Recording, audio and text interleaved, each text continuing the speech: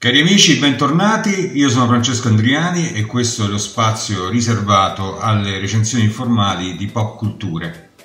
Oggi io e lo Scrondo ci uniremo all'esercito di recensori e divulgatori che si occupano di commentare le storie di quei personaggi bonelli che nel corso dei decenni sono diventati delle vere e proprie icone dell'avventura classica Oggi infatti analizzeremo il numero 39 della collana dedicata a Aquila della Notte, il giovane Tex Wheeler, un albo sceneggiato da Giorgio Giusfredi e illustrato da Fabio Valdambrini, 66 pagine in bianco e nero per 3,50 euro. Bei tempi quelli in cui con 3,50 euro compravi un albo da 96 pagine e ti rimaneva anche il resto per le caramelle.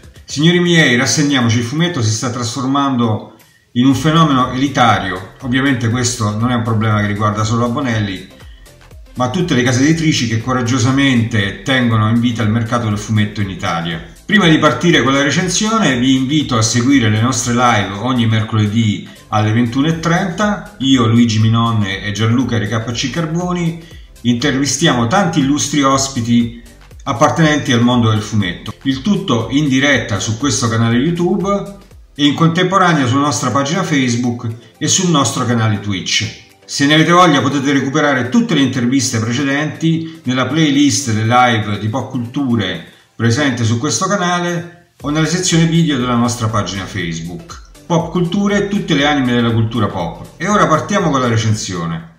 Our whole universe was in a hot, dense state Then nearly 14 million years ago expansion started. Wait, the earth began to cool, the autotrophs began to drool Neanderthals developed tools, we built a wall, we built the pyramids. Math, science, history, unraveling the mystery It all started with the Big Bang. Per me Tex rappresenta un vero e proprio mistero. Chi mi conosce bene sa che non sono un amante di questo personaggio come non lo sono di Zagor lo ammetto spudoratamente. Nella mia lunghissima carriera di lettore credo di aver letto poche storie di Aquila della Notte senza mai giungere al termine di nessuna di esse. Conservo gelosamente solo il volume di Tex La Valle del Terrore, illustrato da Magnus e sceneggiato da Claudio Nizzi e anche in questo caso, sebbene le tavole fossero eh, delle vere opere d'arte, mi sono dovuto sforzare per giungere al termine della storia. Quindi sono colpevole, vostro onore, colpevole di non nutrire una passione nei confronti dell'avventura classica. Perché allora siamo qui a parlare di Tex? Perché è un fenomeno che mi incuriosisce, soprattutto per la sua capacità di essere un mito multigenerazionale, per l'energia vitale che gli ha consentito di creare nuove generazioni di lettori, cosa che non è accaduta a personaggi più recenti dell'universo fumettistico bonelliano. Personaggi, aggiungerei, che vedono le vendite dei propri albi in costante declino. E allora, pur essendo consapevole che fra le mani non ho la storia delle storie di Tex, una buona storia ma non la migliore in assoluto, quella che consigliereste ad un amico che si cimenta per la prima volta nella lettura di un fumetto come questo. Io partirò proprio dal numero 39 El Cangrejo, credo che si pronunci così, per comprendere a fondo i segreti del successo di Tex nel corso dei decenni.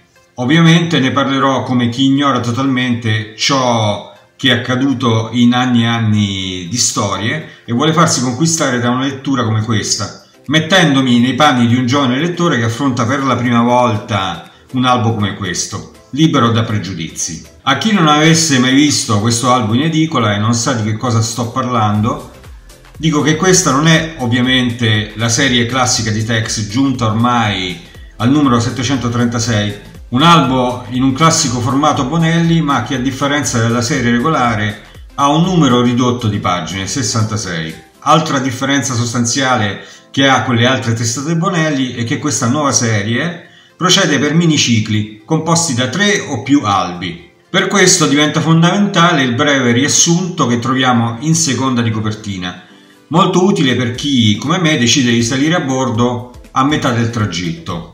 Prima di immergerci nel racconto troviamo un editoriale scritto dal curatore della serie, Mauro Boselli, intitolato Storie vere e Tall Stories, nel quale rispondendo a Luca Barbieri, Boselli, sempre attento alla veridicità storica dei suoi racconti, ci fa comprendere la differenza fra le storie vere tramandate nei corsi di secoli e le tall stories, leggende spacconate tipiche del folklore americano.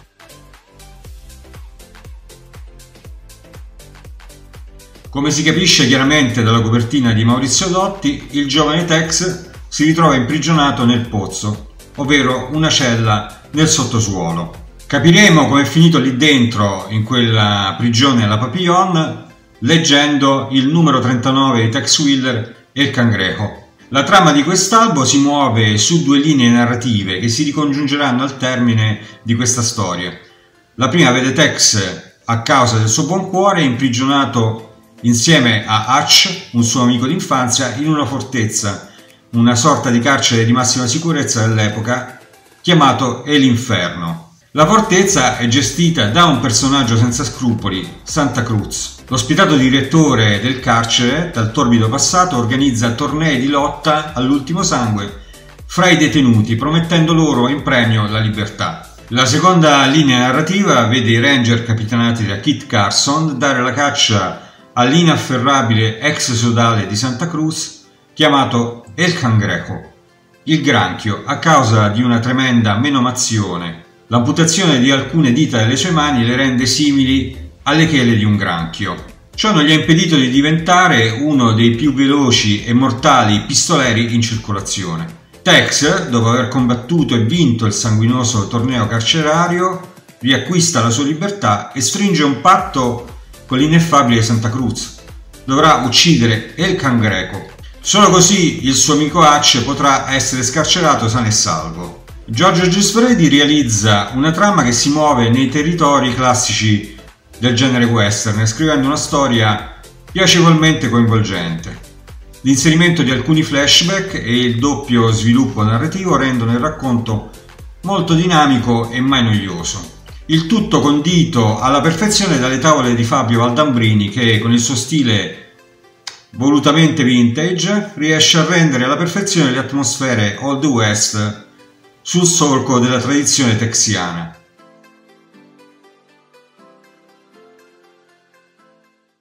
Questo è quanto posso dirvi su Tex Wheeler, non mi sbilancerò di più per ora su una serie di cui ho letto un singolo albo troppo poco per emettere dei giudizi che abbiano un senso. Prendete questo come un video divulgativo destinato a chi vuole avvicinarsi per la prima volta a questo granitico storico personaggio bonelliano.